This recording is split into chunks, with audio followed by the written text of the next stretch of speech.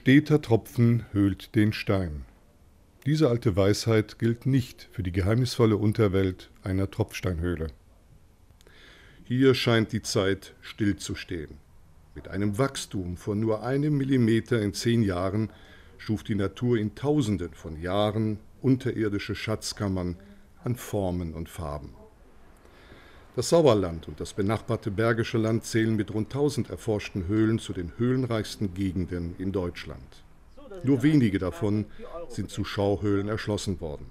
Die Heinrichshöhle im sauerländischen Hemer ist eine davon. Übrigens herzlich willkommen hier in der Heinrichshöhle. Die hat ihren Namen bekommen von Heinrich von der Becke, das war ein hier heimischer Unternehmer und er hat im Jahr 1812 die Höhle erforscht. Den Besucher empfängt eine bizarre Landschaft im Schein der Lampen. Fantastische Schluchten, schmale Kriechgänge oder aufragende Felsspalten. Tropfsteine wachsen Eiszapfen ähnlich dem Boden entgegen oder recken ihre Spitzen gegen die Decke. Durch dieses Loch ist ehemals das Wasser geflossen, was diesen Tropfstein hat entstehen lassen. Und wenn ein Tropfstein ein Loch hat, dann war das ehemals ein Stalagmit. Dankeschön. Bereits 1905 erhielt die Heinrichshöhle eine elektrische Beleuchtung. Diese wurde von einem eigenen Stromerzeuger gespeist, da es damals im Ort noch kein Elektrizitätsnetz gab.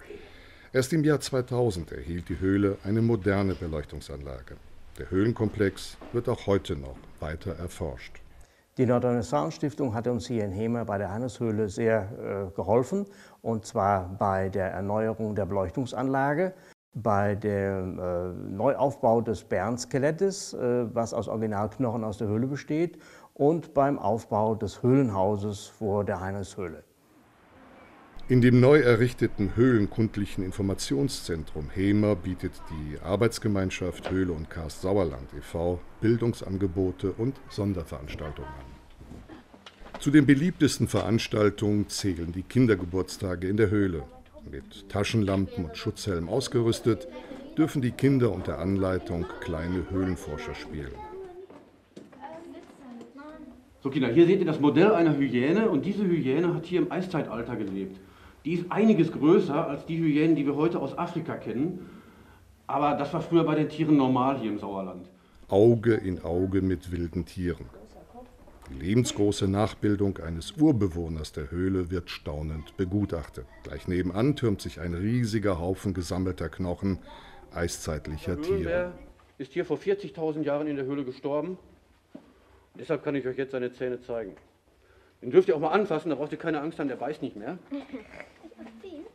Der wahre Herrscher der Unterwelt ist Heinrich, der Höhlenbär. Sein Skelett ist knapp 10.000 Jahre alt und nach aufwendiger Restaurierung die Hauptattraktion in der Heinrichshöhle. Ein Muss nach dem Höhlengang ist der Besuch des nur wenige Meter entfernt liegenden Naturschutzgebietes Felsenmeer, eine einzigartige, bizarre Felsenlandschaft. Das Felsenmeer ist durch das Zusammenwirken natürlicher Verkarstungsvorgänge mit dem jahrhundertealten Bergbau und der Förderung von Eisenstein entstanden. Unter den Felsen und Steinblöcken verbirgt sich eine spannende Mischung aus Naturhöhlen, Bergwerken, Spalten und Schächten. Aufgrund seiner herausragenden naturkundlichen, erdgeschichtlichen und kulturhistorischen Bedeutung wurde es unter Naturschutz gestellt und darf daher nur auf dem gekennzeichneten Rundweg begangen werden